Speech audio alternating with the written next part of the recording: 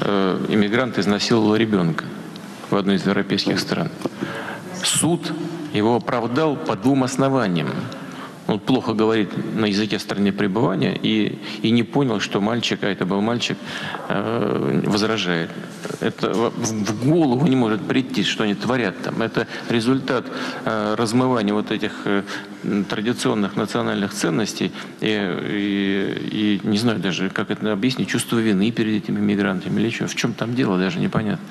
Но общество, которое не может защитить своих детей сегодня, не имеет завтрашнего дня, будущего не имеет. А, поэтому опыт у них, прямо скажем, не самый лучший.